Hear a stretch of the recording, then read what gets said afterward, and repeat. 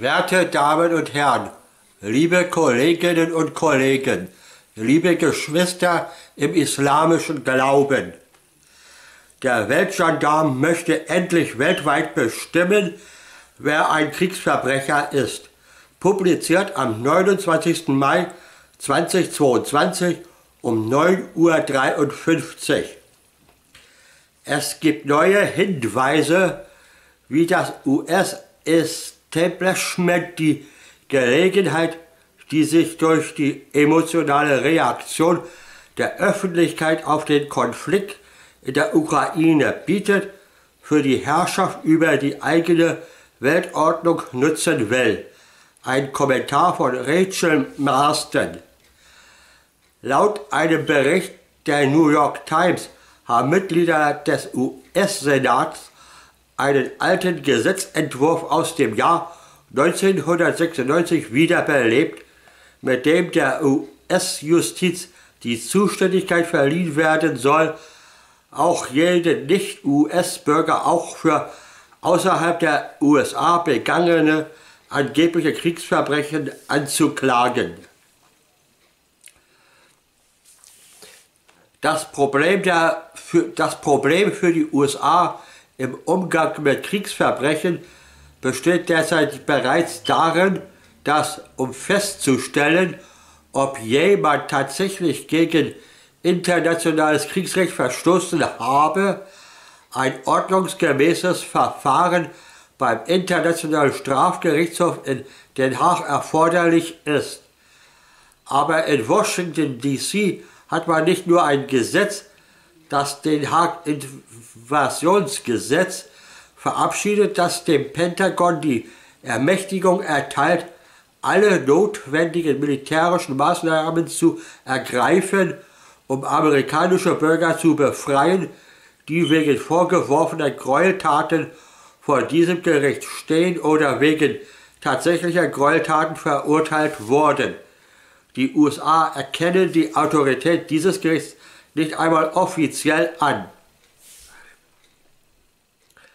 Als der Internationale Strafgerichtshof in Den Haag im Jahre 2020 die Handlungen amerikanischer Truppen in Afghanistan zu untersuchen begann, verhängte der damalige Präsident Donald Trump kurzerhand Sanktionen gegen Beamte dieses Gerichts. Und obwohl diese Sanktionen zwar inzwischen unter dem US-Präsidenten Joe Biden wieder aufgehoben wurden, gibt es keine Anzeichen dafür, dass seine Regierung etwas daran interessiert wäre, dass der ISTGH bei US-Bürgern dieselbe Messlatte anwendet, die sie für den Rest der Welt anlegen will. Als jüngstes Beispiel für diese Heuchelei haben Offizielle in Washington gefordert, dass sich der russische Präsident Wladimir Putin vor dem ISTGH in Den Haag wegen des Konfliktes in der Ukraine zu verantworten habe. Niemand hat zum heutigen Zeitpunkt wirklich eine Ahnung, wo die Grenzen zwischen den Konventionen entsprechenden Kriegsgräueln und solchen liegt die als außergewöhnlich und mithin strafbar gelten sollten. Es sollten erst recht keine Behauptungen oder gar Schlussfolgerungen auf der Grundlage von Propaganda gezogen werden. Die Mühlen der Justiz neigen bekanntlich dazu, sehr langsam zu malen. Aber wer will schon die Zeit für dieses Malen abwarten? Sicherlich in Washington niemand. Wer braucht schon ein langsames und verschlungenes Völkerrecht, wenn man doch einfach eines Morgens aufwachen und entscheiden könnte, man sei jetzt selbst das neue Strafgericht, statt das in Den Haag?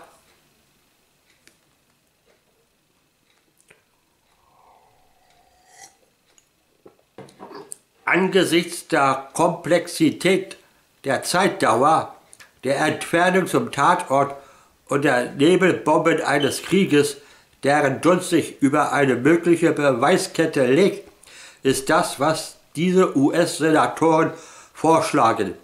Ein Schauprozess vor einem Gericht, von fragwürdiger Legitimität, im Englischen als sogenanntes Känguru-Gericht verbal Horn. Sollte ein Nicht-US-Bürger, der die US-Behörden eines Kriegsverbrechens beschuldigen, jemals US-Boden betreten, so würden sie ihm genau solch ein Verfahren auferlegen. Wenn man sich fragt, wie so etwas aussehen könnte, dann fragt man am besten einfach den französischen Staatsbürger Frédéric Pieruzzi, einen ehemaligen leitenden Manager des französischen multinationalen Konzerns Alstom. Er wurde im Jahre 2013 vom FBI am New Yorker Flughafen GFK festgenommen, von den USA der Bestechung bei Geschäften in Indonesien angeklagt und in den USA zu zweieinhalb Jahren Gefängnis verurteilt. Pierucci war genau das, ein Nicht-US-Bürger, der für ein Nicht-US-Unternehmen gearbeitet hat und 2017 vor einem US-Gericht in Connecticut wegen einer Anklage verurteilt, die sich nicht in den USA, sondern in Indonesien zugetragen haben soll. Aber das US-amerikanische Gesetz über Korruptionspraktiken im Ausland erlaubt es dem selbstgerechten überlangen Arm der US-Justiz genau diese globale Zuständigkeit zu beanspruchen. Wenn irgendein Aspekt der US-Finanz- oder Geldsystems in irgendeiner Weise berührt sein könnte, wie gering dieser Aspekt auch immer sein mag. Auch der jüngste Fall der Huawei-Managerin Meng Wanzhou, Tochter des Gründers des chinesischen Telekom-Riesens, zeigte ebenfalls, wie weit die USA-Justiz gehen wird, um die Wettbewerbsvorteile der US-Wirtschaft zu verteidigen. Auf Verlangen US-amerikanischer Behörden, von deren kanadischen Amtsklick während eines Transitaufenthaltes am Vancouver International Airport festgenommenen wurde der Managerin, die sich also nicht einmal auf US-amerikanischem Boden befand, vorgeworfen, gegen US-Sanktionen Iran betreffend verstoßen zu haben, die auch gar nichts mit Kanada zu tun hatten. Nachdem ihr Fall das Drittland Kanada in einen vierjährigen diplomatischen Ringkampf mit China gezerrt hatte, während Meng unter Hausarrest in ihrem Domizil in Vancouver festsaß, trafen Kanada und China irgendwann eine Vereinbarung, Meng nach China ausreisen zu lassen, im Gegenzug für die Vereinbarung, dass Meng in den USA strafrechtlich verfolgt werden kann.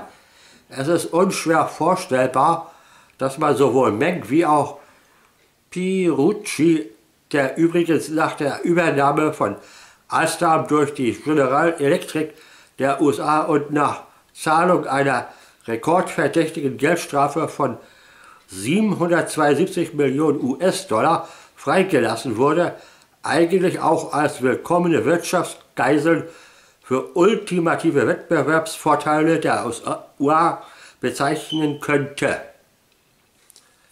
Auch der sportliche Wettkampf ist vor dem Beutezwingen der USA-Gerichte nicht gefeit.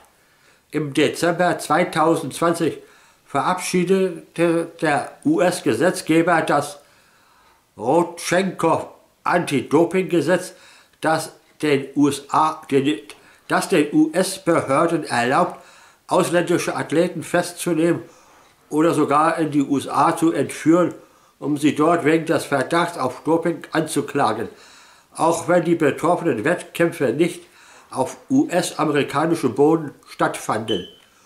Um die breite Zuständigkeit der Vereinigten Staaten für globale Wettbewerbe zu rechtfertigen, beruft sich der Gesetzentwurf des Repräsentantenhauses auf den Beitrag der Vereinigten Staaten zur Welt-Anti-Doping-Agentur, so rechtfertigte es die New York Times.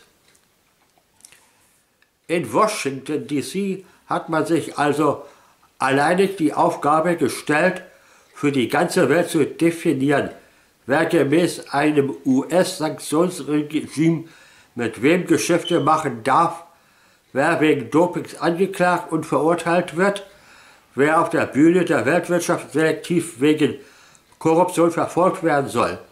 Und jetzt wollen die USA sozusagen als Krönung im Alleingang definieren, wer zum Kriegsverbrecher abgestempelt werden darf.